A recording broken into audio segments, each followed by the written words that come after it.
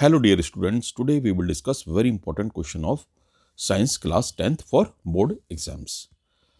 Chapter 5 Periodic Classification of Element. Question number 1 Why was classification of element required? Classification of element was required to study elements properly and easily. Question number 2 Why do you mean by what do you mean by Dobereiner's triads?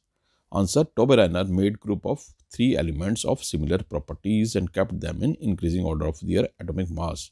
The atomic mass of second element is roughly average of first and third element. For example, calcium, strontium और barium यानी calcium और barium के atomic mass को अगर आप जोड़ेंगे तो रफली स्टोनशियम का एटॉमिक मास आ जाएगा बट लिमिटेशन ये थी कि वो तीन ट्रिक से तीन टायर्ड से ज़्यादा वो बना ही नहीं पाया what is Newlands law of octaves Newland का ऑक्टिव का नियम क्या है Newland arrange elements in increasing order of their atomic mass and found every eighth element is equivalent to first elements in its properties so it was compared with the octave of music and called newland's law of octaves question number 4 what were the limitation of newland's law of octaves newland law of octave was applicable only for light elements up to calcium properties of new discovered elements did not fit into the law of octave and uh, many unlike elements were put in same group.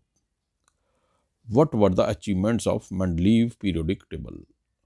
Mendeleev left some places in his periodic table for unknown elements like scandium, gallium and germanium.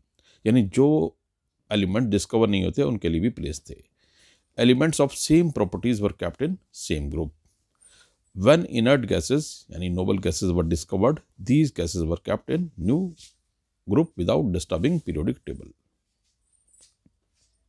तो इस तरह से हम रोज कुछ important question करेंगे series of important question जिसमें से most of the questions board exam में आएँगे